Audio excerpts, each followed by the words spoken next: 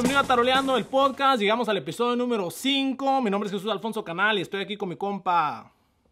El brócoli, hey, qué rollo para toda la gente. Muchas gracias a toda la gente. Hemos llegado al episodio número 5. Gracias a todos ustedes. Estamos muy contentos y muy agradecidos con cada comentario, cada mensaje, cada video que mandan. Todo lo que, haz de cuenta, lo que han mandado, pues para nosotros es oro. La neta, la gente nos ha este, aceptado bien machín. Y ya, pues ya, hasta ahorita vamos llegando al número 5, episodio número 5. Y ahora, el episodio número 5, ¿de qué va a ser, compa? Para primer segmento tenemos a unos taroleros que nos mandaron sus videos, que quieren unos cuantos consejos. Entonces vamos a mirar sus videos y darles unos cuantos consejos, cómo mejorar un poco en las tarolas y otro compa que está en la tambora.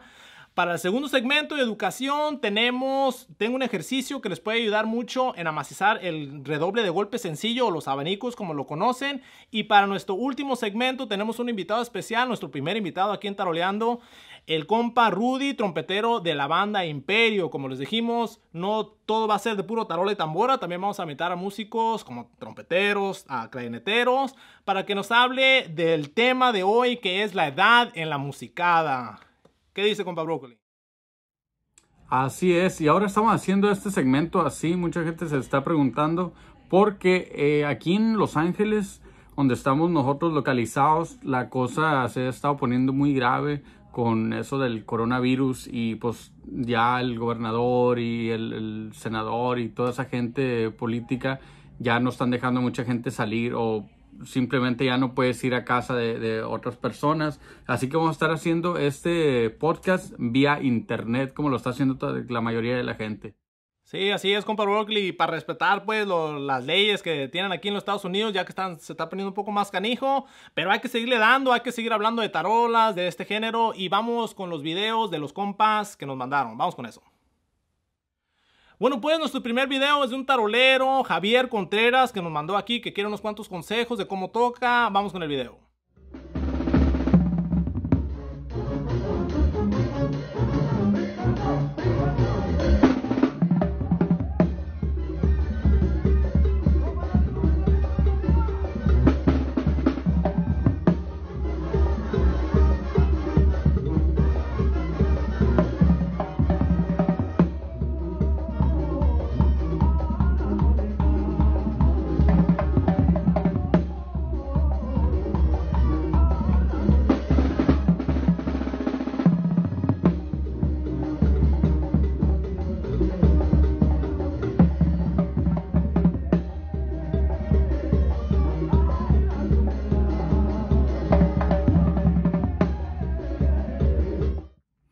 Hey, se ha llegado la hora de criticar al viejón, ahora sí.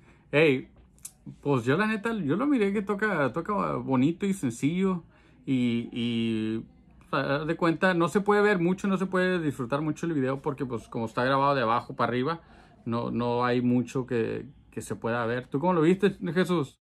Sí, compa Broccoli, así lo que le dije al compa Javier, le dije, no, no puedo de veras apreciar lo que estás tocando, nomás pues le dije si se me puede mandar otro video donde esté mirando de veras cómo lo que está haciendo en los encerros, como está tocando una cumbia, la culebra, y, pero unas cosas que sí escuché es la consistencia de cómo le pegas al cencerro, como que no está muy seguro y, más que cambias de, un bloque, por, lo que puedo escuchar, ¿ah? no lo puedo ver, como que cambias de un bloque y cambias al cencerro, entonces una cosa que yo te aconsejaría es practicar demasiado lento, ya sea con un metrónomo y pegarle bien a, donde va el cencerro y siempre pegarle al mismo lado, ¿da? No, no tanto que varíe tanto. Lo importante cuando estás tocando una cumbia y en el cencerro es que el sonido sea consistente.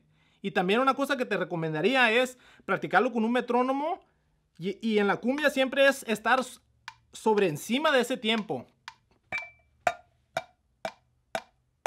Entonces, cualquier cosa que vas a hacer, siempre estar sobre encima del cencerro, ¿verdad? Eso te recomendaría a ti, pero como te dije, no, de verdad no pudimos apreciar eh, muy, bien lo que estabas haciendo, pero es una cosa que yo te diría, es practicar bien cómo le vas a pegar al cencerro, también cuando estás metiendo como otros tipos de dobles. Cuando estás metiendo otro tipo de ritmo, igual quieres que eso se consistente, que se oiga todo completo y practicar eso con un metrónomo o con la música o nomás practicar simplemente el golpe que vas a dar y darlo siempre igual, ¿verdad? Porque esa guía del cencerro estás guiando a toda la banda, ¿verdad? Entonces es muy importante eso, ¿eh? Ok, entonces vamos con el segundo video del compa Gerardo Pinedo Jr. Son dos compas muy jóvenes, un, tamborero y un tarolero. Ahí, ahí si me quieren dejar saber en los comentarios sus nombres de cada uno. No sé si quién es Gerardo o si alguien más lo mandó. Pero son estos compas que están tocando con un tamborazo. Compa Brócoli, si quieres explicar qué es un tamborazo, para los que no saben. Ah, sí, es, algo que le estaba explicando al compa Jesús porque mucha gente en México no sabe qué es un tamborazo. Un tamborazo viene siendo, yo no sé, eh, viene siendo, lo voy a poner fácil, viene siendo, haz de cuenta, una banda tuvo un hijo y fue un tamborazo. ¿Por qué?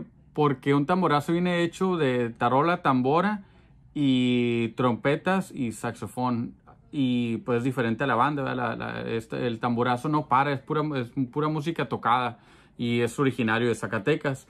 Para mucha gente que no sabe del tamborazo, porque a mí me ha tocado en muchas ocasiones hablar con, con, gente y me preguntan, pues, ¿qué es un tamborazo?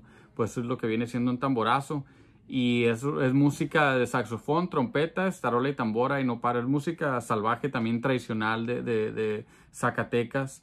Y es algo, es algo ranchero también, es algo que, que, se usa mucho en los coleaderos, que se usa mucho en, en, en, las fiestas. Es lo mismo que una banda, pero es una banda chiquita y pues haz de cuenta nada más en vez de clarinete usan saxofón y en vez de y no usan trompet, no usan trombones ni tuba ni armonía ni congas. Ni las bandas usan congas tampoco. Ah, eso sí compa pero eso, es lo que viene, eso, eso viene siendo lo que es un tamborazo Sí, eso es un tamborazo. E, en veces, pues depende da, de la región donde estés. Hay unos que sí usan tuba, hay otros que no usan tuba. Da, regularmente, como es, yo creo, como los que dicen en Zacatecas, no se usa con tuba, es pues la pura tambora, pero sí hay tamborazos que usan tuba. Y hay veces que alternan de si usan eh, saxo en lugar de clarinete. Pero vamos con estos compas a hablar un poco de cómo tocan las tarolas y la tambora. Este video que nos mandó Gerardo Pinedo Jr. Vamos con el video.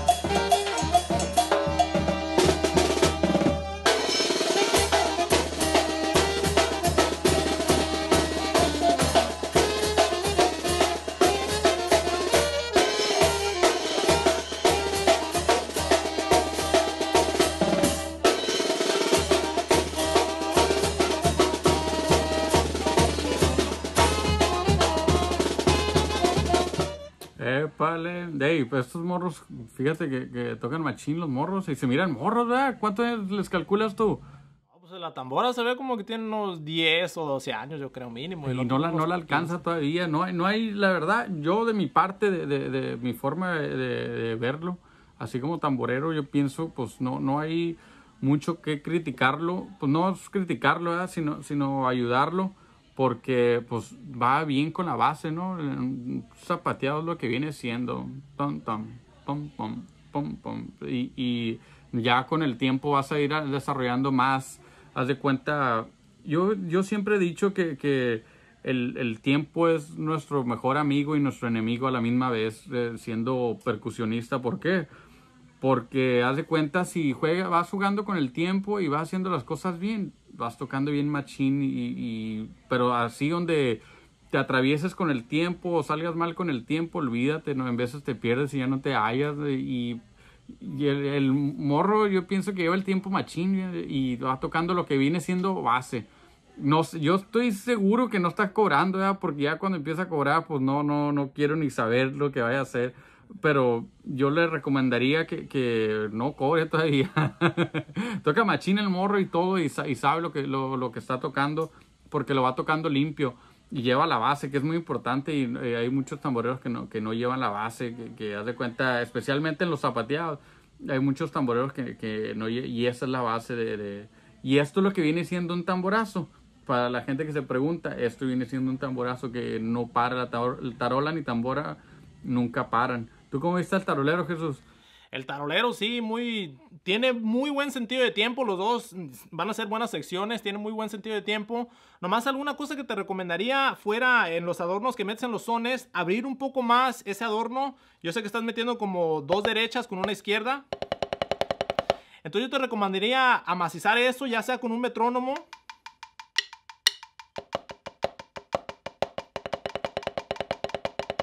amacizar bien, abrirlo un poco más, ¿verdad? Como que lo, tienes un poco cerrado, ábrelo un poco más y de la manera que lo tienes que hacer es practicándolo lento, ¿verdad? ¿verdad? Con la base de lo que va a ser el zapateado.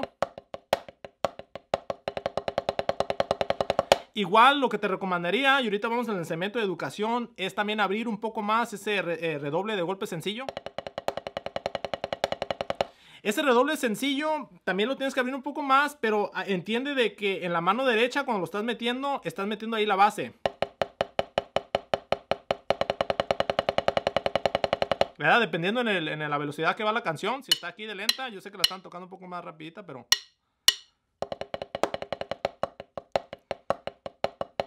¿Verdad? La mano derecha toca esa base, entonces ahí es donde tiene que caer ese redoble de golpe sencillo.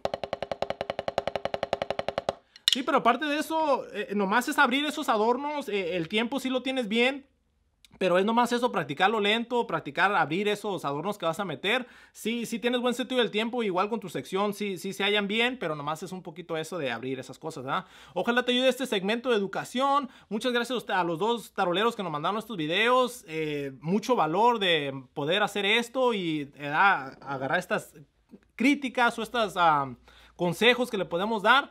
Pero vamos con el segmento de educación para que también ahí les ayuden a ustedes cómo amacizar bien ese redoble de golpe sencillo, los abanicos como le llamamos. Vamos con eso.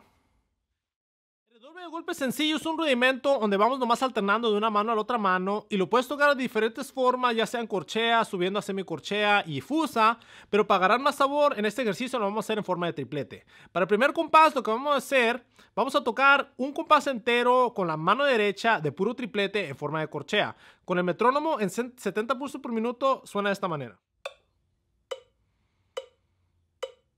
1, 2, 3, 4. Entonces para cada pulso va a caer un triplete entero. Entonces vamos a hacer un compás entero de puro triplete. 1, 2, 3, 4. Para el segundo compás vamos a empezar ahora con la mano izquierda. Y ahora en lugar de tocar triplete de corchea vamos a tocar el triplete de semicorchea y aquí es donde vamos a ir alternando de izquierda a derecha. Entonces, para cada pulso ahora van a caber seis notas. Con el metrónomo se escucha así. 1, 2, 3, 4. Entonces después de ese compás acabamos con la mano izquierda y vamos a repetir lo mismo que hicimos con la mano derecha de tocar puro triplete un compás entero de, forma de corchea, pero ahora nomás con la mano izquierda. 1, 2, 3, 4. Para el, segundo, el siguiente compás y el último compás, vamos a hacer la misma alternación de triplete de semicorchea, pero ahora empezamos con la mano derecha. 1, 2, 3, 4. Entonces son los primeros cuatro compases de este ejercicio. Hay que hacerlo con un metrónomo bien lento, en 70 pulsos por minuto, para dar mejor idea de cómo suena esto. Vamos con eso. 1, 2, 3, 4.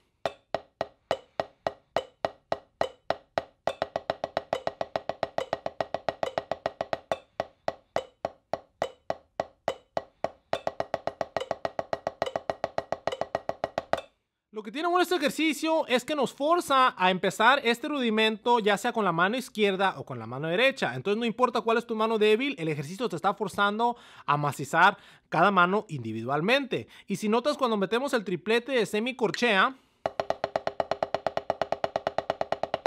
La mano con la que empiezas está haciendo lo mismo que la otra mano, nomás es en forma de alternación. Como si fuera la mano izquierda.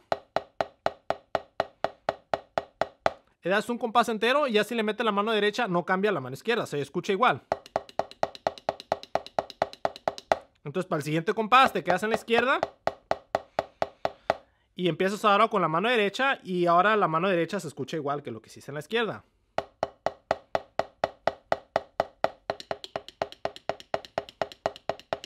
Entonces en total estás, sigues alternando de derecha a izquierda, quedando con ese mismo patrón. Entonces esa es la importancia de trocarlo con el metrónomo y de veras amacizar cada mano.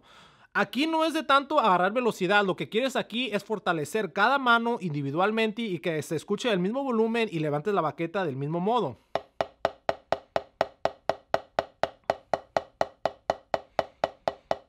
Da que cada mano tenga esa misma fortaleza, ya sea con la mano derecha, igual con la mano izquierda. Y lo bueno de que estás alternando, empezando con la izquierda y empezando con la derecha, como les digo, estás fortaleciendo esa mano débil. Hay que tocarlo con el metrónomo un poquito más rapidito, pero como les digo, esto no es de velocidad, esto es de mucha repetición y que cada músculo se vaya memorizando cómo se siente esa alternación, pero hay que tocarlo un poco más rápido para que agarren mejor idea cómo se va a ir escuchando ya cuando le vamos aumentando la velocidad. Vamos con eso. Un, dos, tres, cuatro.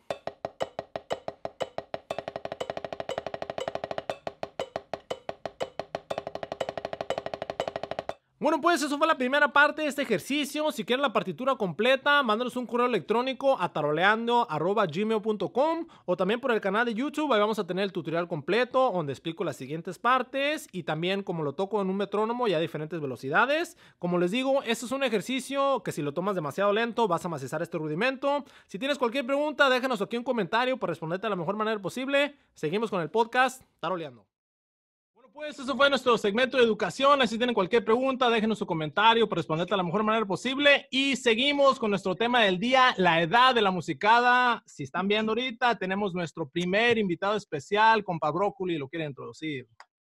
Así como un buen amigo, aparte de músico, un buen amigo, casi de la familia. El compa conocido como el perro chato, el men le puso, para toda la gente que conoce al men. Por cierto. Eh, le puso ese nombre, el men, el perro chato. Hey, Rudy, cuéntales con qué banda tocas y qué haces y todo el rollo. Bueno, antes de nada, mi nombre es Rudy García, conocido como el perro chato, como dijo Broccoli. Thank you, man, por gracias por ese güey. Y toco la trompeta ahí con la banda Imperio Sinaloense, mi compa Oscar Curiel ahí.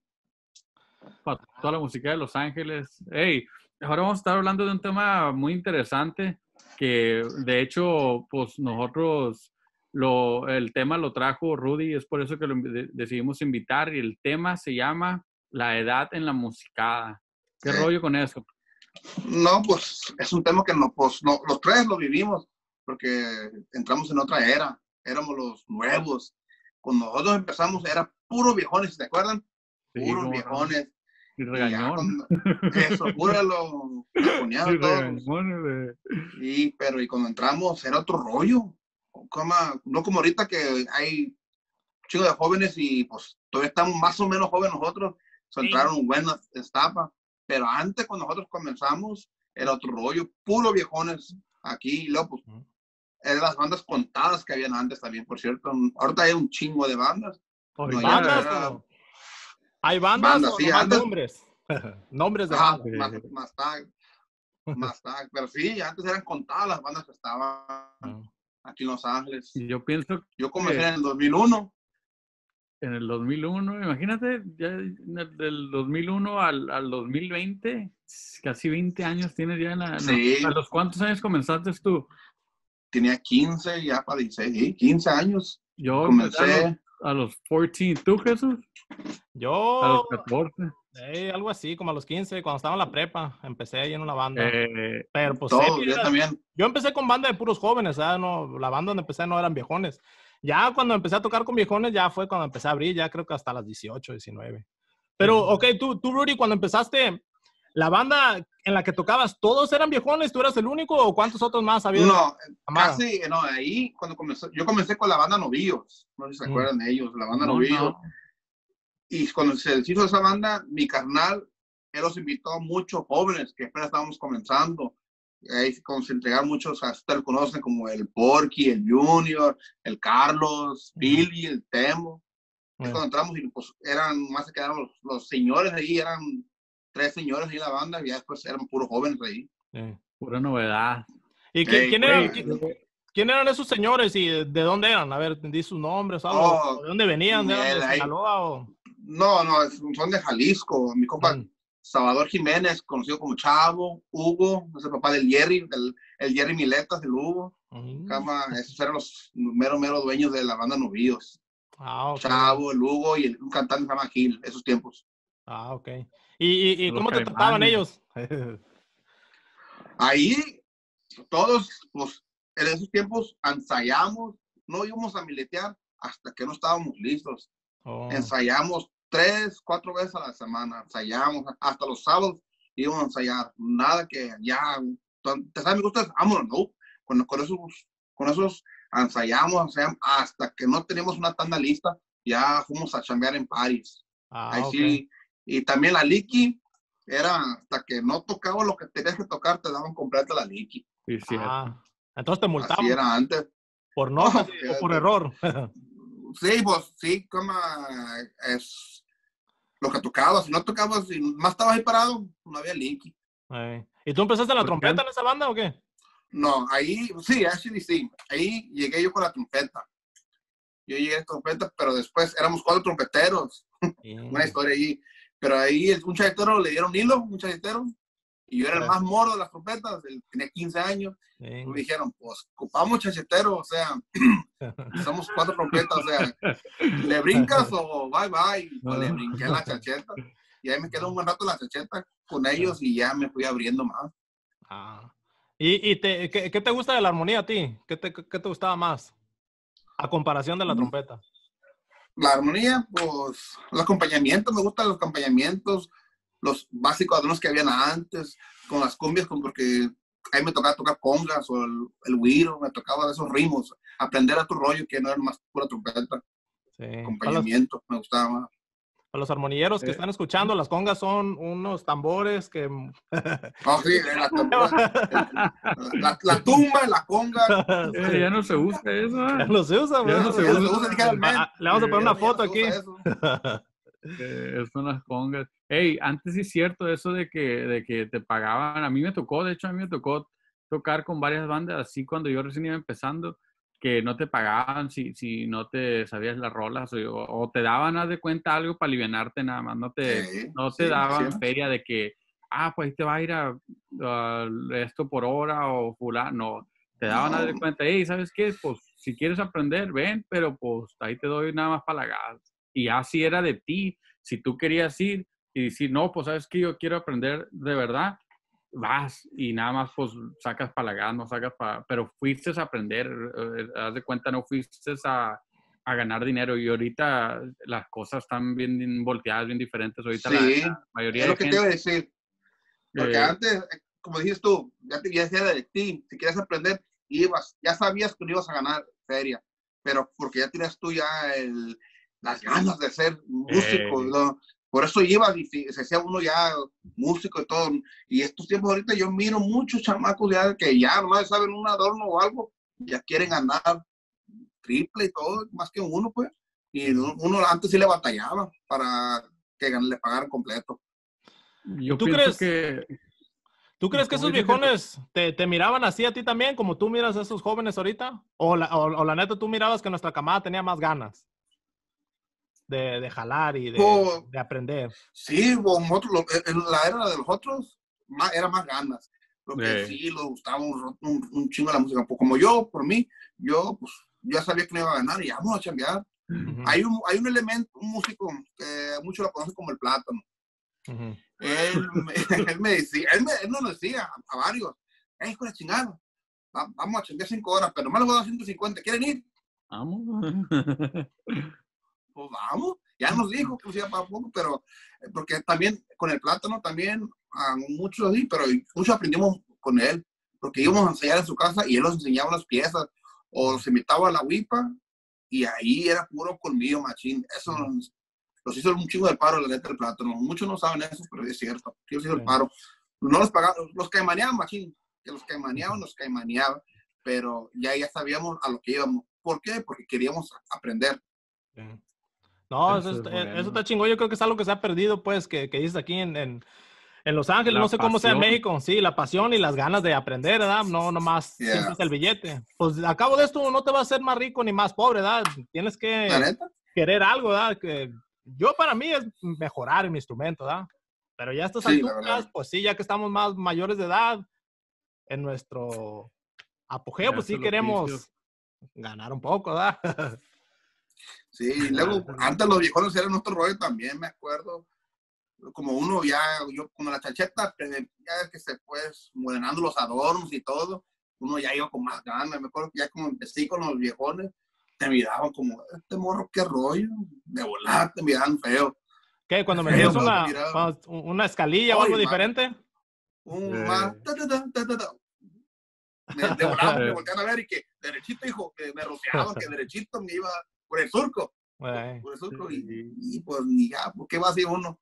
Era, eran eran aprendices. No, y pues yo creo que era otra etapa, ¿no? Nosotros no, no teníamos todo el acceso que tiene toda la juventud ahora de mirar videos, de mirar otros músicos de otras partes para agarrar esas ideas. Entonces, muchas de las ideas eran de pues, los viejones o de los que estaban aquí en tu área solamente, sí. Sí, es cierto, pues, eso, sí, eso es muy cierto porque ahorita ya te YouTube y miran la gente, so, agarran ideas. Yo me acuerdo antes, otros iban a ver bandas y se llevaban sus camaritas para estudiar en su casa. Es cierto. No, yo, con, conozco varios que se y que, ¿dónde vas a tocar ahora? ¿Con quién vas? No, pues con esta banda. Neta, ¿puedo ir contigo? Ay, yo nomás quiero cotorrear. Pero con su camarita iban a chin para... agarrar ideas. Uno piensa que es, uno piensa que es veneno, pero ellos lo hacían como para agarrar ideas, aprender más y todo ese rollo a los que no entienden veneno es criticar, pues, pero pues como dice compa Rudy es agarrar ideas, pues. Sí, ahora ya, pues, para... ahora ya ideas, pues se agarran de todas partes, ¿verdad? Y antes estábamos limitados a los músicos que eran de aquí, ahorita ya puedes mirar bandas de Oaxaca, de Michoacán, de Jalisco. Ah, es cierto, de Guanajuato, donde quiera. Sí, yo creo que esa es la diferencia, pues, de, de, ahora. Ya muchos muchachos nomás ven un video, miran un armonillero o algo y dicen, ah, yo voy a hacer ese adorno y no saben las cosas básicas, pues igual los taroleros. Nomás miran a un tarolero muy grande y dicen, ah, yo sí puedo, se aprenden una cuanta pieza y ya quieren aventarse, ¿verdad? Entonces no, no tienen esas ganas, pues, que... Pero yo creo también muchas de esas ganas, muchas, muchas de esas ganas también tienen que venir de la camorra que te echaba, ¿no? Porque, pues, no querías quedar mal. ¿no? eso sí. Eso que, ¿qué? Eso, que ni qué, nomás, todo. Que no, este amigo no sirve para nada y no, no, piensa que no, uno no sabe nada, hay que echarle ganas porque ya, ya me están camorreando. Así, me, así empecé yo mucho cuando agarré la trompeta después, porque de chachete me fui a la trompeta y ya me miraban. Y no, yo, yo, sé que muchos, hasta la fecha a lo mejor, cuando llegaba yo a la trompeta, este. Y pues no, pues a la verga, pues hay que, hay que echarle chingazos más y aprender más. Agárrate. Eso sí, Sí. Pero ah, le digo que los monos... Eso, eso, es, es, muy cierto de que ahorita yo he hablado con, con, con muchos productores de estudios grandes y hemos hablado de ese mismo tema que viene siendo la pasión. Por ejemplo, yo le preguntaba a varios músicos o me preguntan así, hey, ¿qué músico bueno ha salido últimamente? Y pues que digas tú, no, y el otro día estaba, estaba hablando con un productor de, de, de, México y me dice, hey, dice, ¿qué, qué, qué músico? Y le dije, por la neta, y que yo sepa, acá en Los Ángeles nada, y allá, le dije, no, digo, ¿siguen los mismos? dice, sí. Y empezamos a hablar del tema de que no, dice, que ya pues, nadie, nadie toca como antes, que era por pasión o, o que era por tocar. Ahorita la gente toca por tocar y por el dinero nada más, por, y por eso no hay mucho músico bueno ya que digas tú, que por ejemplo un Ariel de antes, un, un, un Jocoqui, un, un, un Abelardo, alguien de esa gente, un Solovino, un Tomazón, ya no, ya no, ya no hay de esa gente porque pues no lo hacen por dar de cuenta. Toda esa gente lo miras tocar y tocan con sabor, con orgullo, con pasión. Eh, y ya la mayoría de gente ahorita vas tú y, por ejemplo, el men, el men toca con, es, más, ahorita le hablamos al men, ahorita le decimos, hey, toquen ahorita, y toca el men, pero por él toca por pasión también. El, el, el, el men, él le gusta la música, le gusta la chicheta, él le, le gusta, él, él, él, no sabe de música nada, pero él le gusta y le echa chingazos. Muchos piensan que ya pasó la, el pasado, pero para mí lo pasado es lo más bonito. El estilo que era el Sansón de antes, de lo de ahorita, la neta. Yo siempre voy a lo clásico que lo de ahorita como esto, un, un, un, tomazón, trombón, pero el Ariel, pues un chingado, para mí todavía, Uno que de aquí. El Audón. Para mí, todavía uno aquí en Los Ángeles, mi compa Julio Badaraguato, para un, un, sabor que le mete el trombón el Julio. El ¿Por qué? El, el, la pasión, él, él tiene, el, sí me entiende lo que le gusta la música. Dijera el siente la música. Eh, y ahorita ya nadie, nadie tiene ese, ese sabor, ese sentido. Y hay un montón de músicos aquí en Los Ángeles de, de esa época que pues a lo mejor no menciono nombres, pero porque son muchos y, y son diferentes instrumentos, pero hay muchos, no nada más son esas personas y hay muchísimos. Y ahorita que digas tú, te puedo, es más, les voy a hacer una pregunta a los dos. Hace, en, en vamos a, vamos, tres años atrás, ¿qué músico bueno ha salido de tres años atrás? De aquí, no, pues, no, pues donde sea. No, pues la neta no. Sí, sí, sí mira que, es que, dura mucho. muchos tienen trayectoria y todavía le siguen. Y es cierto, esta época no se ha hecho una trayectoria que sí, oh, este güey ya, ya llegó y este güey, no mames. Porque sí, la verdad, sí hay muchos músicos nuevos y tocan bueno, tocan machín, tocan bien y todo, pero todavía no ha dejado la trayectoria para decir, es este güey. Uh, lo que lo escuches la grabación, es este güey, es fulano, es fulano, te viendo, como, como antes, como antes, las grabaciones de volada escuchabas los parches, de volada sabes quién era. De volada sabes quién era. Escuchabas el clarinete, ya sabes quién era, de volada. Y todavía está la historia. Ahorita no, es cierto, que no hay alguien que ha dejado su, su, su, trayectoria ahí, su, marca No, no, no. Su estilo. Todavía no. ¿Por qué? Mira, yo, te puedo, yo te puedo decir, los mismos músicos siguen grabando desde hace 10 años. El Ergar, Arturo, Arturo Gallardo, a tuba Pablo, trompetas.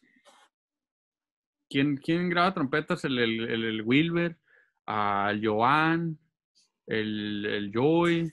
El, ahorita, pues, es, más, está, pues, uno de los nuevos que está dejando de trayectoria es el Joey, el Joey, Calderón.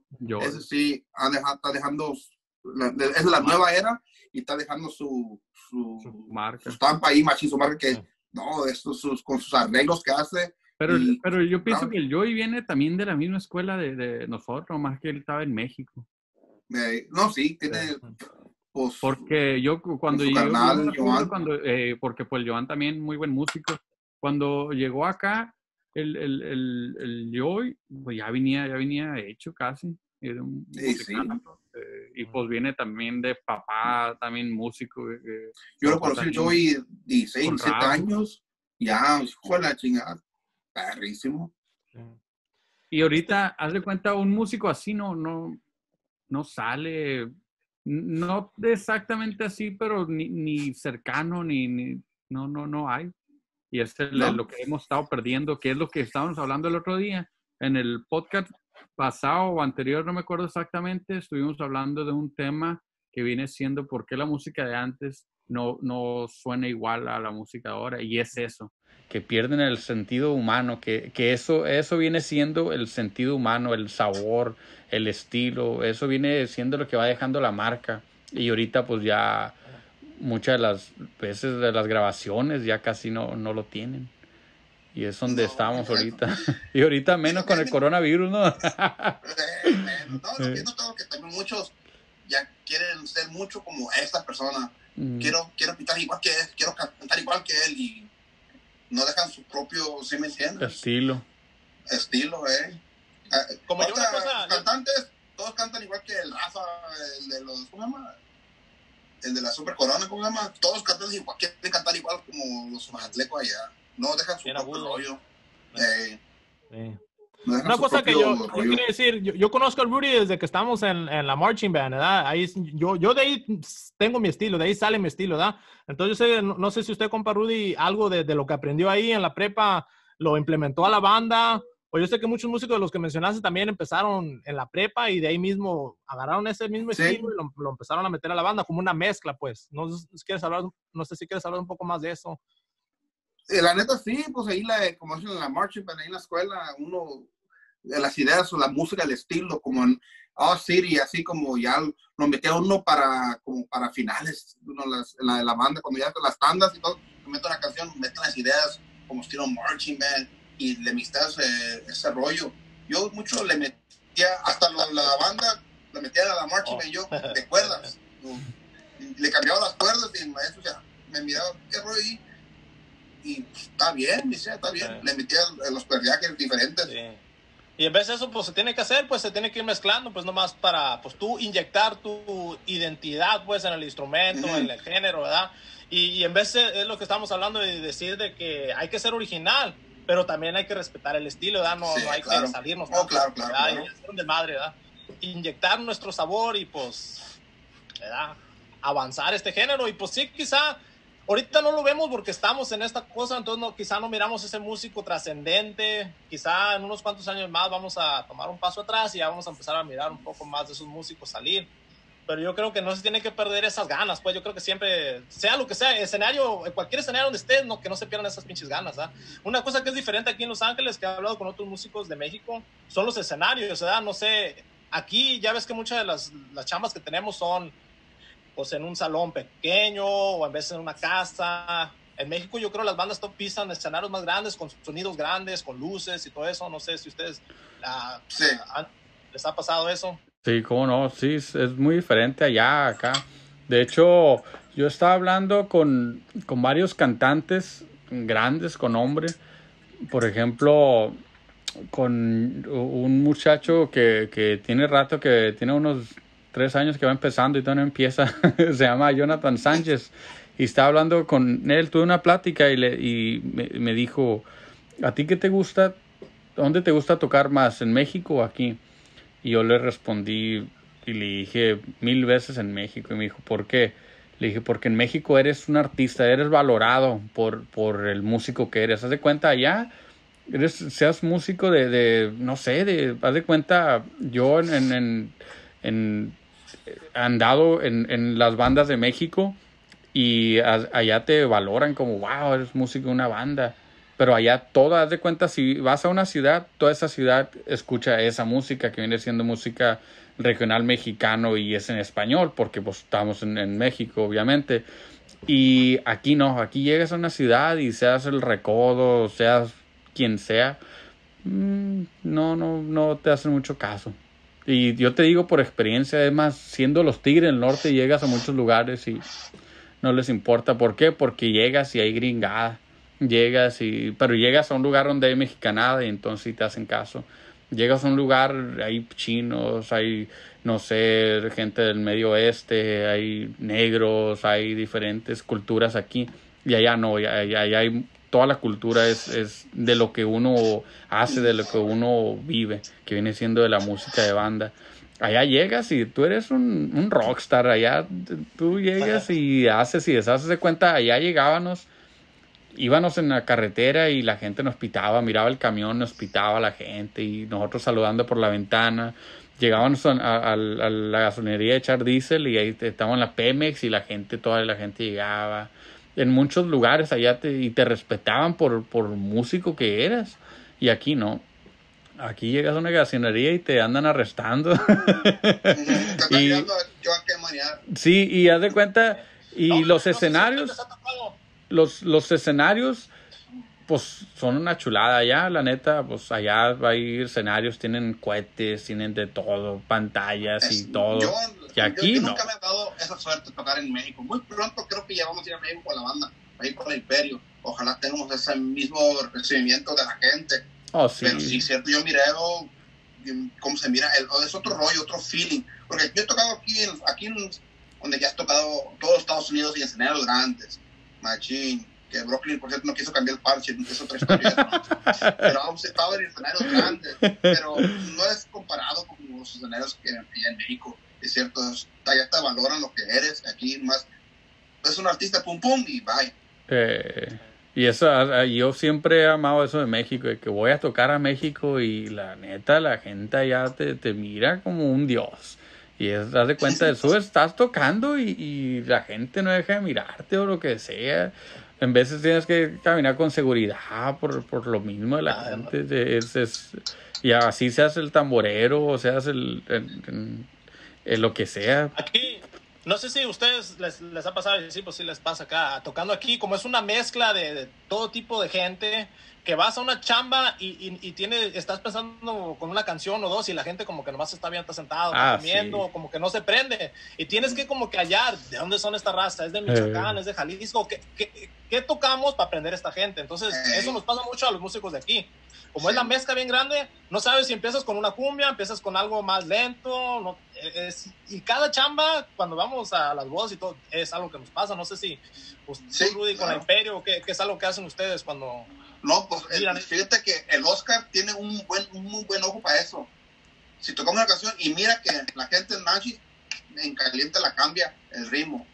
Y ya y que no otra vez en ching cambia el ritmo ya cuando mira que sí ya hacemos un poco de eso porque la gente ya respondió para eso y la neta el, Oscar tiene un muy buen ojo para eso y de volada hacemos el ambiente para la gente. Sí, yo creo que es algo, algo muy único, pues, que pasa, yo creo, aquí en Los Ángeles, como, te digo, es una mezcla de todo tipo de, de gente. Ya ves, hemos ido a chambas donde la mayoría son nacidos aquí, ¿verdad? de segunda, tercera generación, y esa generación quizá le gustan más los corridos, las cumbias, tienes que como adivinar, pues no, no puedes tú entrar con un repertorio que tú siempre das, tienes que tener ese colmillo, ¿verdad? Eso viene yo creo con la experiencia, pues con la edad, con andar en diferentes bandas, entender ese, ese e, esa mezcla, pues, de gente, ¿verdad? Sí, eso, pues. Eso porque, fíjate, aquí yo me he puesto a analizar a la gente aquí, Mira, llegamos aquí a una fiesta y no hay nada más. Haz de cuenta, en México vamos a un estado y tocamos en un rancho y nada más hay, gente de ese rancho. Y aquí tocamos en una fiesta y vamos a, esa fiesta y hay gente de todos los estados de México. Haz de cuenta, hay gente del DF, hay gente de Nayarit, hay gente de Zacatecas, hay gente hasta del Salvador, de Honduras de Tijuana y en vez hay hasta morenos y chinos y gringos y pues no uno como músico eh, tiene, tiene, que saber qué, alimentarles. Regresando más al tema así de la edad, entonces ustedes, ¿tú piensas que hay una edad específica para poder empezar en la banda o crees que puedes empezar de chaval o puedes empezar de viejo? No sé si quieres hablar tú, Uri, un poco más de eso. para, mí la música no tiene edad. Eso es, desde moro puedes empezar o ya después, ya de grande lo puedes agarrar. Y eso ya tiene que, como tocas de morro, porque ya lo tienes en ti, me imagino. Y ya muchos, es cuando se hacen los musicazos. Pero no, la música no tiene edad. Cuando quieras empezar, si, si es que te gusta, te va a ir muy bien y lo vas a tener. Y si no, tú nomás lo quieres hacer por hacer, es como no va a ser cualquier músico que nada, yo digo. No es tanto como el deporte, pues, ¿verdad? Veas que estar joven, estás en el fútbol porque tus piernas acaban, ya a los 30, 35 años ya se te van acabando las piernas. Pero, ok, hablando de eso también, ¿tú crees, ya que vas subiendo de edad, ¿crees que te afecta, como tú en la trompeta, te afecta el labio, tanto chambear? ¿Crees que ya que llegues a los 50 o 60, tú te miras todavía pitando? Oh, ojalá no tanto los 60, pero la música siempre va a estar en mí. Yo creo ojalá sí, pitando así normalito, que un sabadito sí, un sabadito no, pero no. Y gracias a Dios la embocadora ahí está todavía. Tengo ya casi 20 años en este rollo y todavía está la embocadora bien, o sea, porque me ha cuidado pues en calentar y todo. Y igual como, imagino los tableros, las manos, es más peligroso, imagino, desde la edad, ¿no? Es lo que te iba a preguntar. Y no es peligroso con los tableros por, ¿cómo se dice? Arthritis, artritis. Sí, la artritis, eh, otra cosa que en inglés llamamos el carpal tunnel, que es una enfermedad del hueso. Y eso, pues sí, es algo que yo ahora ya implemento mucho siempre calentar antes de, de empezar, ¿verdad? O mover las manos, calentarlas un poco, hacer eso. Ah, es algo muy importante que tienes que veras tomar eso en mente de que si quieres tener una trayectoria larga, decir, a la larga me tengo que cuidar porque yo cumpla 40, 50, quizá no, mis manos no van, no van a responder igual, ¿verdad? No sé yo apenas, fíjate que yo apenas empecé a calentar unos años atrás, porque yo cuando empecé no calentaba yo, ni en la escuela, me acuerdo que cuando íbamos a, cuando juntos tú y yo en la City, que, se calentó un poquillo más, más y vámonos. Igual cuando, cuando, yo iba a cambiar la seta y, y nomás agarraba lo que pu, pu, pu, vámonos. Igual, pero no, ya, esos tiempos se, me, se me acabaron. Si no caliento, no, cuando, ahora sí, un ratito con la boquilla, unas calitas, porque para que sea esto la trayectoria un poquito más Sí, no, que sí. No sé si tú, Brócoli, te pasa mucho porque yo sé, yo, yo cuando he agarrado la tambora es más de aguante, porque el pinche brazo, si, te, si una tanda de puras cumbias, agárrate, es el aguante de poder tocar toda esa... Sí, yo también en veces, en veces caliento porque en veces ya, ya la mano me, me dice que ya, ya estuvo, que me retire la música. Pero en veces sí, sí, sí es necesario calentar. Pero sí es, es, es mucho aguante la, la la tambora es mucho aguante y, y mucho músculo. Porque, porque haz de cuenta, hay muchos tamboreros que se les entume la mano. Se les entume la mano tocando y no, no, no pueden. Y... Se pone como Popeyes. Eh, esas, aquí todo esto. No, a mí me ha tocado tamborear varias veces, ¿sí cierto? Aquí Ahí está la leyenda, ¿eh? Y más que nada, pues si lo traes de corazón es también la responsabilidad, porque sabes, si estás en la tambora, todos, tú eres la guía de toda la banda, o sea, tu parte es la más importante que hay, aparte del tubero, ¿verdad? pero cuando estamos en el fuerte, todos están oyendo a ti. No sé, es algo también muy mental, algo que también viene con la experiencia, pues con la edad, de entender que tu instrumento carga mucho peso. me acuerdo lo que me decían los, los viejones de antes, cuando, yo, antes que tocaba congas yo, que cuando iba a agarrarme una cerveza, metía la mano en el hielo no, muchacho, no hagas eso, de verdad se No, sí. Porque que te va a afectar eso. Y sí, neta uno, no, uno le, le, valía que eso antes. Eh, uno cuando tamboreaba. Sí. Y ya, y metía la mano en la cerveza y todo, y me rociaba y mierda después. Y ahogado, ahogado con sí. menos, ¿eh? Salió todo el maquillaje, ¿no? Tutorial de maquillaje. No, pues, Sí, toro, no, pero esos eran los consejos antes de los viejones que. Sí. Los consejos que nosotros vamos a pasar también, pues. Ojalá, claro, pues hay que también pasar, correr la voz. Que no, me acuerdo, uno llegaba de la chamba y a bañarse. No, muchacho, no te vayas, el cuerpo está caliente, no hagas eso. Sí, sí, no, o también, abrigarte. Año de la vida. Sí abrigarte, ya ves que cuando estás sudando, yo como tarole, yo sudo un chingo, la neta, yo hasta cuando tenemos saco y todo me lo tengo que quitar, no, no aguanto yo andar con saco, es, una chinga, sudo machín, más que yo pues toco así con los brazos y todo, le, le meto pues el sabor a, a, las cosas le des feeling. Eh, pues sí, pues, ah, pues, no, no, no sé otra forma. Entonces, pues sí, cuando llego a la casa, a huevo, me la tengo que quitar, me seco y pues sí, yo sí me echo un baño, unas veces no, no puedo dormir así, si ando todo sudado, la neta, tengo que Yo también. Es una cosa que no hice caso. sí. Pero son ideas, pues, pero eso sí, de que meter la mano al hielo está cabrón, porque ahí es donde viene la artritis, ¿eh? Si tienes las manos bien calientes, a mí me, me pasaba mucho, hay veces que yo ni salgo, si estoy en un salón no me gusta salir porque sé que me, me va a traer frío en las manos y cuando regreso, uh, cómo batallo en esa tanda. Cuando mis manos se ponen frías, uh, cómo batallo y luego lo siento al siguiente día, me empiezan a doler todos los dedos, me salen un chingo de ampollas. Entonces algo importante también no, no, no mezclar tanto cuando estás tocando, si vas a tocar 5 o 6 horas, mantenerte adentro, mantener tus manos calientes, no salgas al frío, ponte guantes o algo, hazlo. Aquí tengo unas... Estas, estas madres para para la muñeca. Ay, me, me, echan camorra y todo que parecen calcetines, pero estas más se ayudan en veces de para mantener la muñeca caliente, ¿da? ¿verdad? Que no, no tente frío. Hacen el paro, la neta. Usted, Rudy, ¿qué, ¿qué, es lo que hace para mantener ese labio, pues, así? ¿Algo que no toma soda o...? no, soda sí tomo, pero cuando ya después de dos, tres tandas sí me gusta agarrar el agua y no tocar la manera para no mojar el labio. ¿A poco eso más no, afecta? Puede, sí que sí, porque el, ya está calentito el labio y ya con frío, está tomando mucho frío, se chinga pues, y a calentar otra vez. Yo me acuerdo que don Berna, para descanse, don Berna, diga que no muchacho, que, que cuidar el labio mucho, cuidarte el labio cuando vas a tocar y no beses a tu mujer, me decía, no, yo don Verda, ¿allá cuándo? ¿Allá cuándo? No, ¿cómo? ¿Allá cuándo?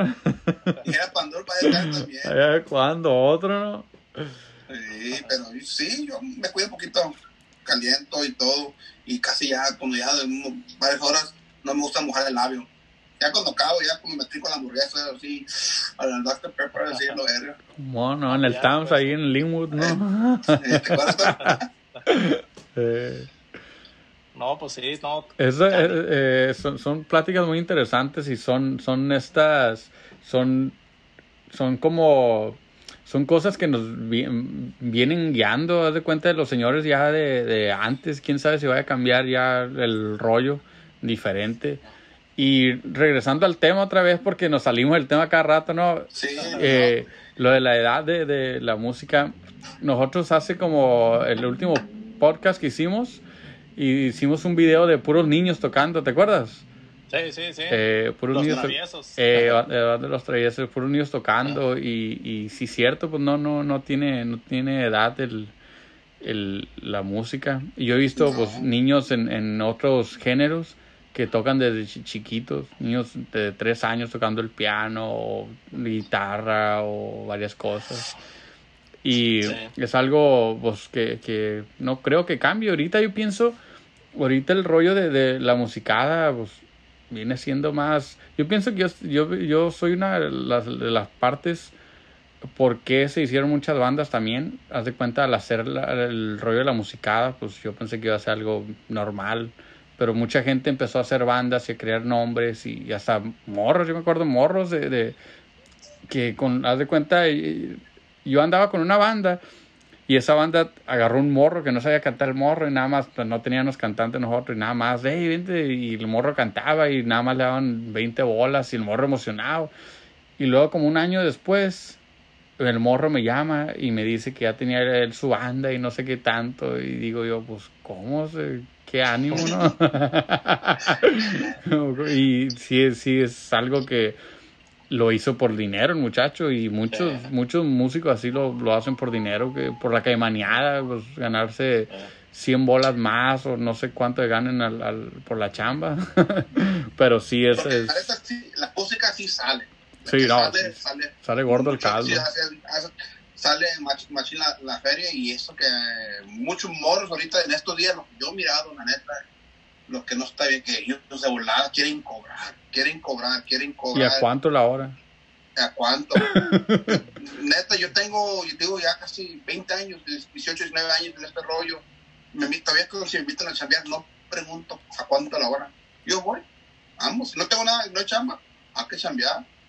Claro, ya si no te pagan bien, pues ya, simplemente ya no vayas. ¿Para qué? Porque eso, muchos de esos morros en estos días tienen esa mala costumbre, ya pedir cuánto hay, cuánto hay, y todavía no están, o sea, Macizos. por el macizos, maduros en este rollo. Es el único la diferencia de los cuando nosotros comenzamos con los morros de ahorita. Sí. Nosotros íbamos a chambear porque queríamos aprender y chambear, la neta. Es más, íbamos más a los colirios a tocar que a las chambas porque queríamos a tocar, queríamos Eh. estar chambeando. Así conocí a Broccoli, Broccoli iba a mi casa y ah, como ahí estaba con la tambora listo para chambear. Sí. Es- no, uno es listo, pero le, le echamos chingazo ahí. Es Eh, cierto. Y ahorita no. Ahorita ya nadie, ahorita este humor ya nadie hace paros. Nadie. Ya, ya no hay paros. Ya tiempos no se hay acabaron. Ellos dicen, ya- no, dicen, no hay liqui, ¿para qué voy a tocar el liqui? Y antes, ah, como hubo paros, como hubo carne antes de la musicada. Eh, Y colirio. a tirar, a ver cómo hubo colirio. Yo, ¿cómo sé colirio? Yo, eso sí, tenía Eh, claro y yo lo mendigo, pero eh, esa es la diferencia de los morros ahorita. La- el passion, la pasión. este tema muy interesante. Hey, dejen su comentario. Para toda la gente que está viendo, dejen su comentario.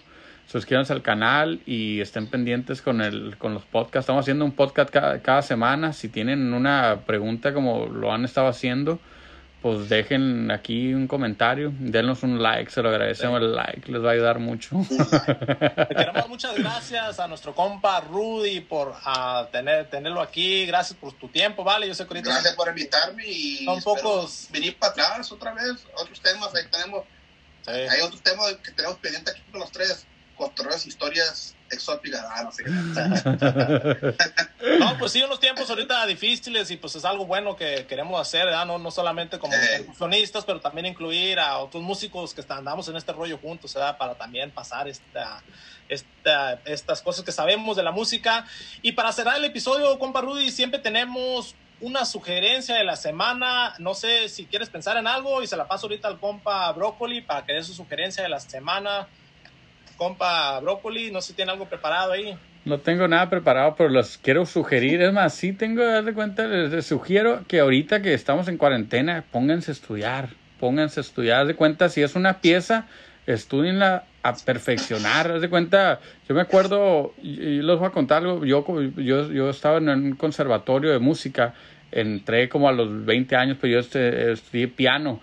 Y algo muy importante que aprendí ahí, que es, haz de cuenta, yo no podía avanzar a otro nivel si no amacizaba. Si sea una escala, haz de cuenta, si sea una escala y la tenía que amacizar con las dos manos, yo no podía avanzar a otra escala hasta que no la perfeccionara esa escala yo le digo lo, mismo a ustedes, perfeccionen lo que tienen para poder avanzar. Si no tienen algo perfeccionado, no, nunca no, aprender más. Eh, no, no, no se muevan. Nunca es yo, yo, tengo tanto tiempo y cada día aprendo algo diferente, algo más diferente. Y yo no soy esas personas. Si alguien me dice, eso está mal, Ale sí. Le doy Con mucho gusto lo amo, lo decir. Eso es un consejo que les doy a los, chamacos de estos, de estos días. Si alguien te dice en buena onda, no lo tomes a mal absórbelo, préndelo y échale chingazo. No hay que ser así, hay que ser más humilde en este rollo. Y cierto, Broccoli, a, esos tiempos que estamos ahorita, a ensayar, agarrar su instrumento, y aunque ya te la por la canción, hay que echarle más para salir más perfecto. Y... Aprenderse el otro tono o algo. así, ah, ¿no? nunca, nunca es, está de lo bonito de la música, pues que no, hay, siempre hay algo nuevo que tienes, puedes aprender. Otro estilo, otra escala, algo, siempre. A mí yo siempre es lo que me gusta a mí de, las tarolas o cualquier instrumento, que siempre hay algo que puedes aprender. Mira, yo la sugerencia de la semana, lo que quiero que hagan es eh, crear una rutina de ensayo y, aunque sea corta, pero algo que siempre vas a hacer antes de empezar a tocar, ya sea si va a ser 5 minutos o 10 minutos, siempre tener eso en mente, voy a tener una rutina de ensayo antes de empezar no, no tiene que ser con la baqueta, puede ser con las manos. Aquí también tengo esta eh, herramienta que es para los que levantan pesas. Esta madre también te ayuda mucho a, a, macizar los, los, músculos de los dedos. Es, es como una pesa, ¿verdad? Y aquí le puedes cambiar. Si nomás tienes algo así, nomás con el simple hecho de hacer esto por un minuto, ya nomás estás calentando los dedos. Entonces, eso es lo que quiero sugerir a ustedes. Siempre crear una rutina, algo para mover las manos, ¿verdad? No empiecen en frío porque a la larga sí te van a chingar, ¿verdad? Entonces, sí, pues les quiero dar muchas gracias a todos los que están aquí escuchando el podcast. Muchas gracias, compa Rudy. Recuerden, suscríbanse al canal. A cualquier cosa que quieran saber, déjenos su comentario para responderte de la mejor manera posible. Mándenos su email, también sí, mándenos sus videos, como ya vieron en los videos que mandaron sus taroleros. Cualquier cosa que quieran saber, ya saben, aquí estamos. Saludos a todos, seguimos taroleando. Ahí estamos.